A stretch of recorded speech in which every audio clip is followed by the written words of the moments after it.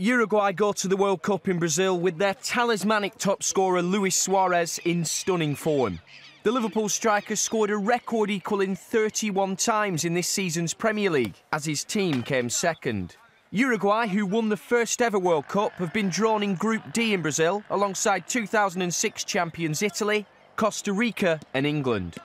Of course, the English know all about Suarez, having been entertained by the striker all season. And Roy Hodgson has even suggested that after such a successful domestic campaign, he may be tired for the World Cup. It's not something the Uruguay coach Oscar Tabarez agrees with.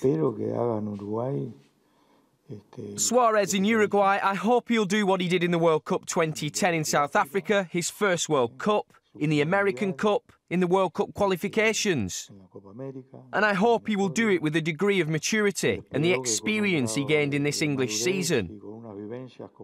I hope he could increase more, if possible, his power.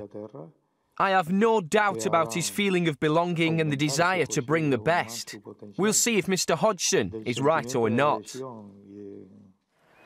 And they're not just a one-man team. With Edinson Cavani, Diego Forlan and a trio of title-winning Atletico Madrid players in the squad, Uruguay will be confident they can go far.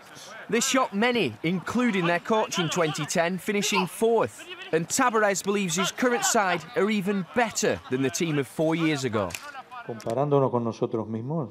Comparing ourselves, I think we have more power because the experience is something that we lacked in the last World Cup and in the last qualifying for the World Cup. And that was the price we paid for the renovation of players.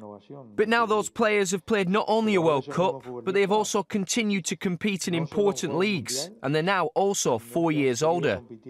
Many of them have approached an age which is considered ideal for footballer performance. And history could work in his side's favour. Uruguay lifted the trophy in 1950, the last time the tournament was in Brazil.